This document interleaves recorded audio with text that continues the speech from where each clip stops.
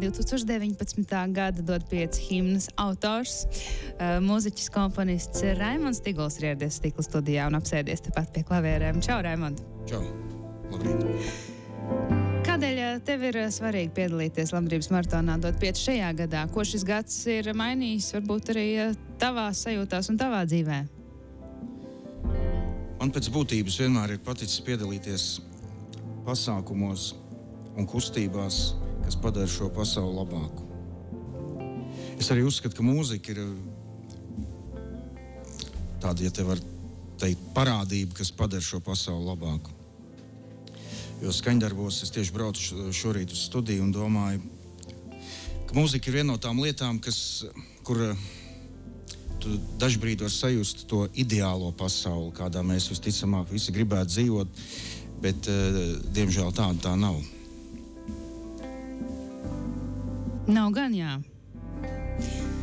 Bet uh, mūzika dziedājuma palīdz, tas ir pilnīgi skaidrs. Uh, vai tu esi meklējis pats mierinājumu mūzikā pēc 24. februāra, un varbūt arī kaut kas ir izrakstījies no tevis ārā um, Ukraiņas notikuma kontekstā?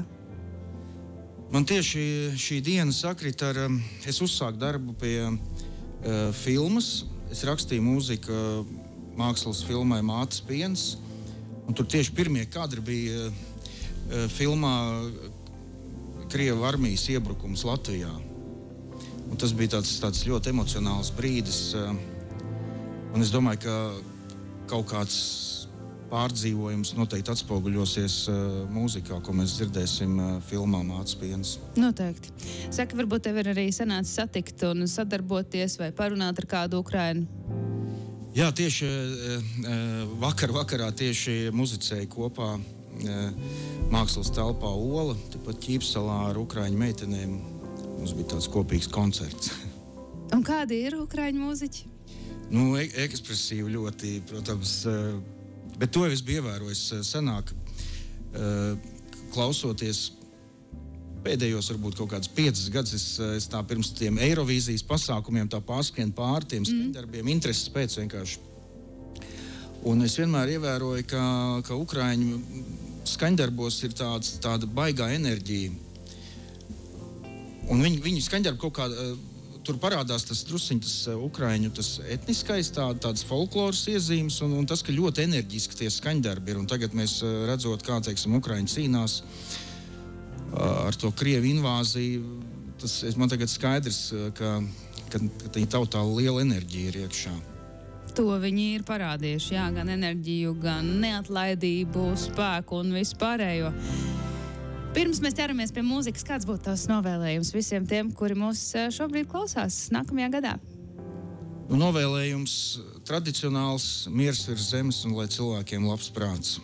Ko mēs citu varam novēlēt šobrīd? Tā gan, tā gan. Ko tu mums izpildīsi? Un es eh, šorīt nodziedāšu skaņdarbu Mīlestības jūra. Tas taps ir uh, kopā ar dzinieci, rakstnieci uh, Noru Ikstenu. Un skaņdarbs ir tāds, uh, tāda, var teikt, atzīšanās mīlestībā Latvijai, Latvijas dabai.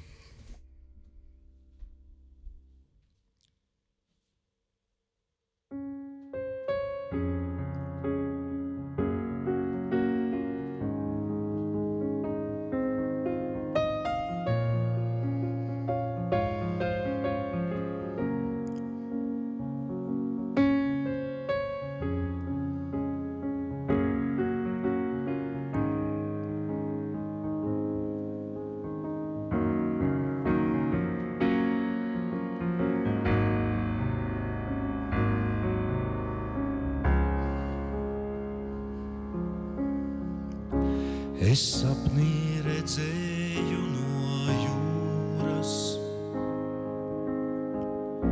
pils izcēlās bez vārda un bez pūra.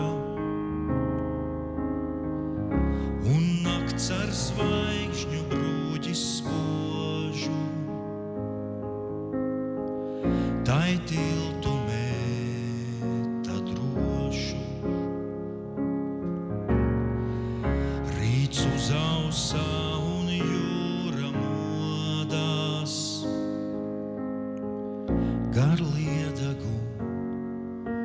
vēl maigi glausdamās. Es modos līdz un acu skatam,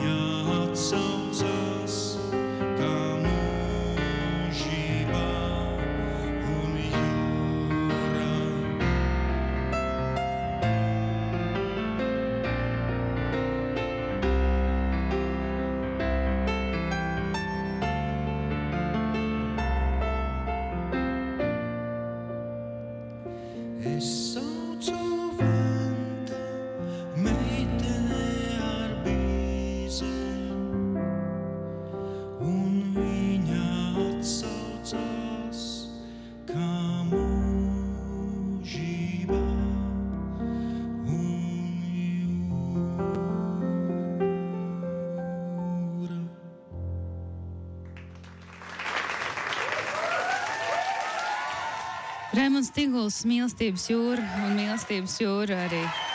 Apskalo stikla studiju domu laukumā, tas ir vairāk nekā skaidrs. Raimons, starp citu, par šo dziesmu ir arī vairāk ziedojumi. Tā kā mēs varam aizsūtīt sveicienus Irēnai, Lindai, Dacei, Intai un Elīzai, kuras ir uh, ziedojušas Labrības maratonā dot pies tieši par šo kompozīciju. Nu, prieks dzirdēt. Jā, tā kā, tā kā tava mūzika arī kaut ko dara un palīdz, un uh, prieks, prieks par to. Ļoti ceru. Jā, priecīgs Ziemassvētkus, laimīgu jauno gadu, un lai piepildās galvenais tas, ko tu teici. Priecīgus svētkus.